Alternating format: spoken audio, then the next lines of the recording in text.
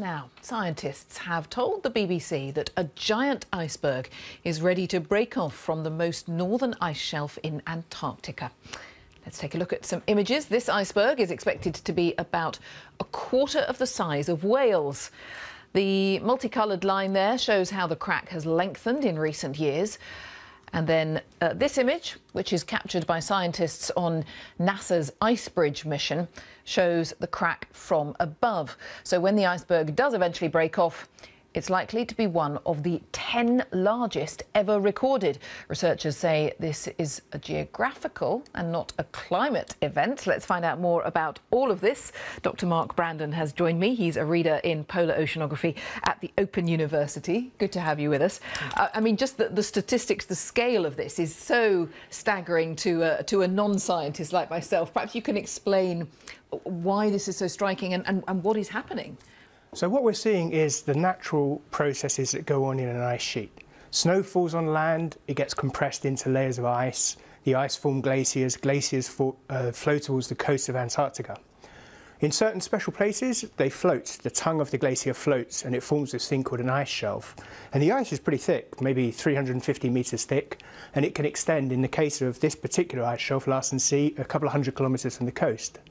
Now, icebergs are always fracturing off from the edge of these ice shelves, but what's special about this one is just the phenomenal size, but it's a natural part of the flow of the glacier. As, as this iceberg calves off and drifts away, the ice shelf will advance forward over time and more snow falling on the continent will build the ice shelf up again.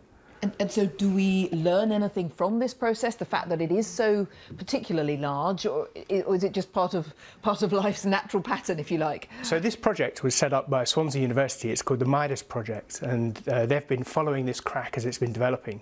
Now, the purpose of the project is to find out the fate of this ice shelf.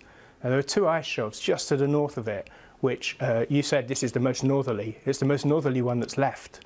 The two that were slightly further north have already gone. And the, the last one of those, Larsen B, went in 2002, and it went very, very quickly. Now, Swansea University... And when we say gone, we just mean oh, yeah. fall, fall to the... Fractured. To the fracture uh, fractured, and, and, the ice has dissipated out into right. the ocean and gone away and melted.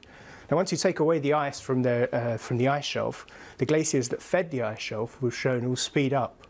And as they speed up, more ice is leaving Antarctica and going into the ocean. So although this is a geographical event and not climate related, what may follow is probably likely going to be driven by the climate. So this project was set up to study what might happen with this ice shelf. We've got these ideas about how it works. As this ice shelf goes, this, the Larsen C is going to be the smallest that we've seen it in the record that we have. Right. But our satellite records only go back about 50, 60 years, our imagery, so it's still relatively recent. Mm. But the computer simulations from Swansea predict that the ice shelf may become unstable and it may break in the same way as the previous ones.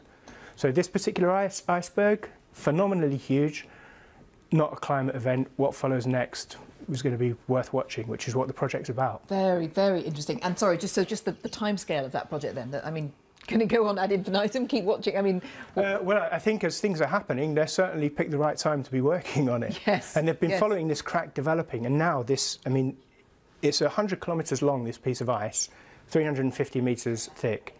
If you do all the sums, it works out about 1,000 billion tonnes of fresh water. And it's hinged at the moment on just 20 kilometres of ice that are, that holding it. Once that fractures, this huge thing's going to drift away. And the first thing it will do is very slowly it will turn to the north and it will start drifting and then it will probably bump into an island and stick there for a couple of years where it gets gradually melted down and broken up.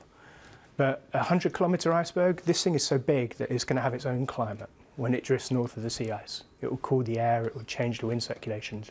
So a wonderful thing to see. That um, is fascinating, absolutely fascinating. Thank you so much. Dr Mark Brandon, thanks for coming in from the Open University. Good to talk to you. Thank you very much.